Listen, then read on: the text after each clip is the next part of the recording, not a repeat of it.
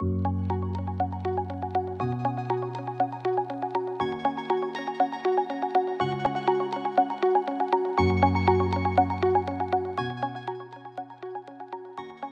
Bien, para definir la intersexualidad así de forma muy sencilla, podríamos decir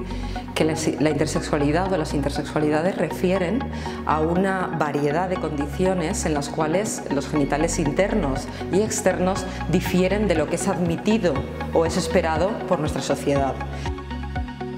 Respecto a los discursos que existen hoy en día, ¿no? con respecto a las intersexualidades, digamos que el, más fuerte no sería el que viene de la biomedicina, pero luego hay otro que estaría en el otro extremo y que viene de los discursos LGTBI o también de instituciones a nivel internacional, como puede ser la ONU o instancias que dependen de derechos humanos, derechos reproductivos, derechos sexuales, eh, pero también de derechos de pacientes, plataformas de derechos de pacientes, sería otro gran grupo. Bien, respecto a la inclusión de la I en, el acrónimo LGTB o los colectivos LGTB, hay que decir que hay una controversia muy importante porque no estamos hablando de un colectivo integrado.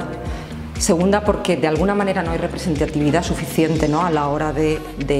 incluirse dentro de este, de este colectivo y también en tercer lugar porque estamos hablando de una cuestión, que no estamos hablando de una cuestión de identidad per se, estamos hablando de un estado fisiológico eh, relacionado con gónadas, con hormonas, con genes y no de identidades concretas. Quizá podríamos hacer una reflexión ¿no? y decir, estamos construyendo colectivos LGTBI si las personas que supuestamente tienen que estar incluidas en esa I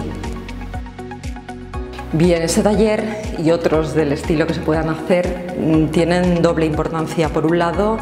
eh, lo que supone de visibilizar este tema, un tema que todavía hoy en día está silenciado, es tabú, es minoritario. Por otro lado, si analizamos los protocolos que ha habido históricamente, los protocolos sobre todo médicos sobre los cuerpos intersexuales, y en el caso, por ejemplo, de las mujeres, se ve perfectamente cómo estos protocolos que utilizan cirugías y hormonas han negado en primer lugar eh, la sexualidad y el deseo de las mujeres y han construido la mujer o la identidad de la mujer sobre la base de una mujer reproductiva que es receptáculo de, un, coito heterosexual. Toda la historia de la sexualidad de las mujeres está completamente imbricada en, lo que es la propia historia de, de los protocolos y el trato y el tratamiento médico de las intersexualidades, con lo cual es un aprendizaje de cada una de nosotras.